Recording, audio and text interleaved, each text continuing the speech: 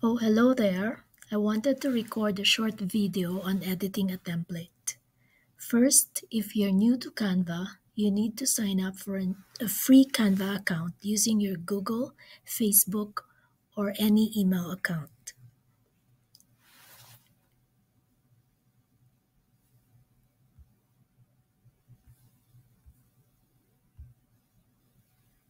This is the template that you will get after purchase, and we will use the first page of this template to demonstrate how to edit.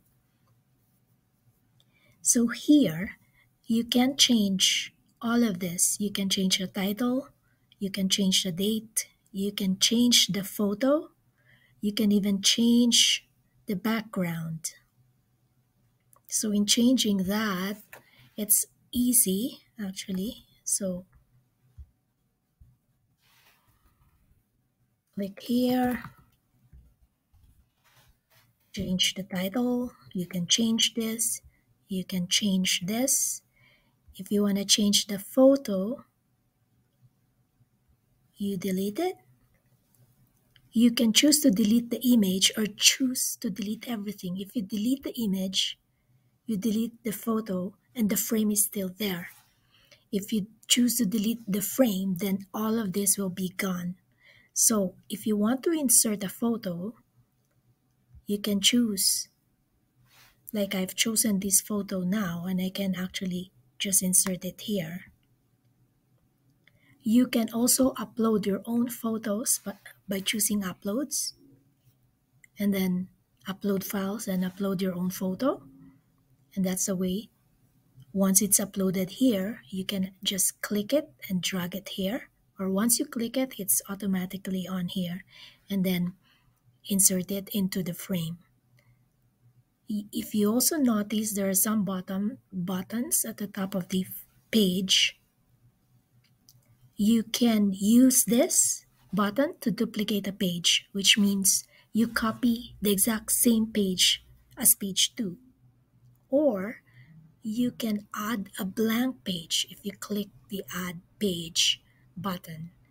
If you notice, now these buttons is to move a page whether up or down. So if you want page 1 to be page 2, you can click this and move it down.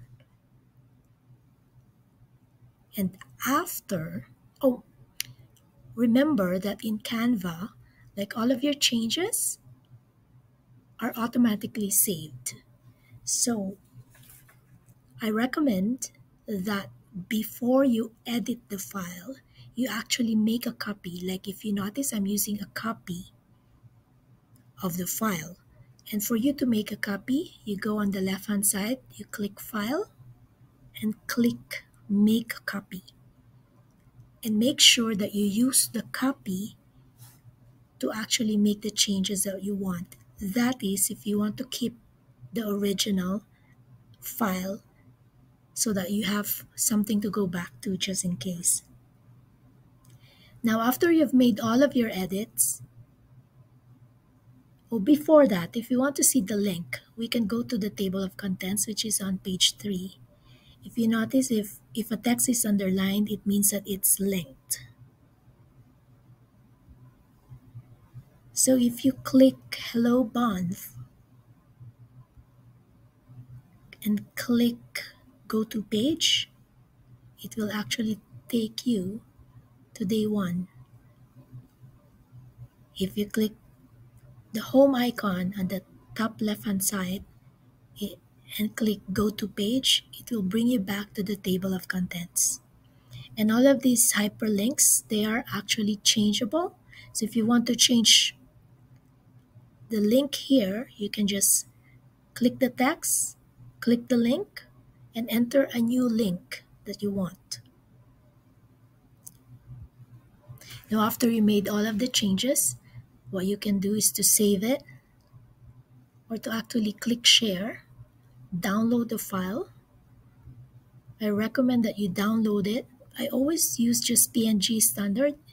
It's actually, you can use the P PDF standard as it says here for printing the document and for emailing. So I actually click PDF standard and then download it.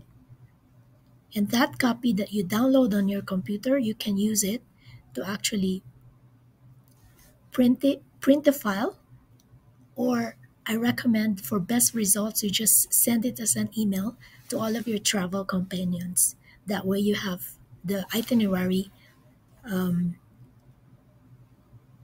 you share the itinerary with them and everybody is in the know. Okay, that's all for now. Thanks for watching. I hope this video helps. Thank you.